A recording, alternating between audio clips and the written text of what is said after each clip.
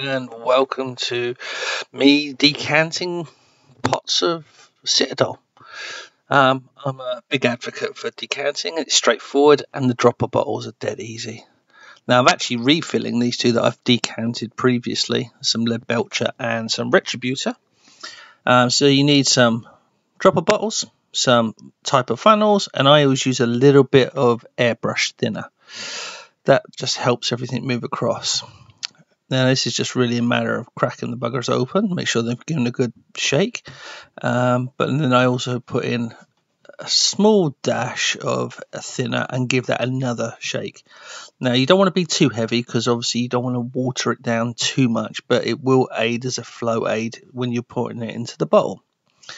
Um, if this is a brand new bottle, you just have to assemble it. Obviously in this case, I'm stupid enough to have a bottle covered in paint.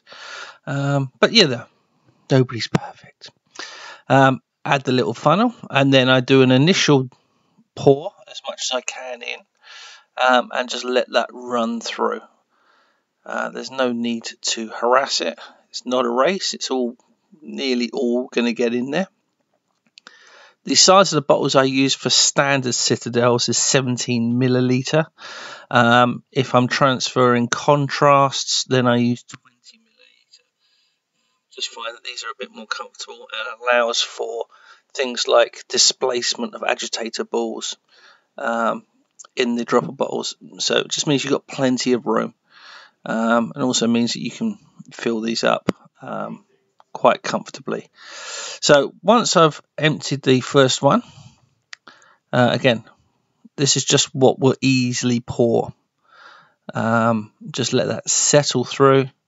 Again, say there's no rush. I mean, obviously, try not to spill it like I did with the Leadbelcher, um, but I am a professional idiot. Um, now, bear in mind, once that's settled down, what I do, and this is the nice thing about the Citadels, is with a small funnel, they kind of clip on and they self balance, and you can just keep them there. Um, gives it every opportunity for most of the stuff. And an important thing to remember is that we really want to transfer as much as possible or as much as viable. So I normally put in a little bit more, just a tad more of thinner. Again, give that a nice prolonged shake and give it another tip and a lock and balance. Again, just giving it the opportunity to drain as much as as much we can get out there. Um, so the important thing is, particularly with the thicker ones, um, they're gonna they're gonna cling on to the the inside of that pot for dear life. Now, bearing in mind this process, no, I, I don't think anyone's got a perfect process. Is you're not going to move 100% of the paint. But when you factor in with the Citadel pots how much paint goes dry, um, I think it probably balances out better. Now with a scrappy brush, I just go in there and I give it a scrape. Uh, again, this is something you, yeah, you can do with the thicker paints. Um, you can just get in there, get in the corners, and and scoop it out. Um, it's it's not rocket science. Uh, you be as methodical as you want. I'm naturally quite tight, so I want to get as much as humanly possible out of there. Um, the key is once you can start seeing the uh, light through there, you're probably going to get as much paint out there as possible. Um, the important thing now is it done. It's just tidy up. So what I do now is I scrape down all the paint from the funnel. A lot of that would have naturally clung on, and just feed that through.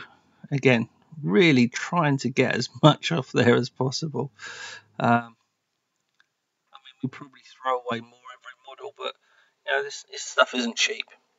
Um, then, obviously, if it's a new bottle, I would drop in a agitator, seal the bottom up, job done. Um, certainly, I'm, I get more life out of my paints. And the nice thing with the Citadels is that the labels come off the pots nice and easily and you can strip them onto the bottle. So I hope that helps. Enjoy decanting and if you need anything, just give us a yell in the comments. You take care. Remember, it's your grey, your way.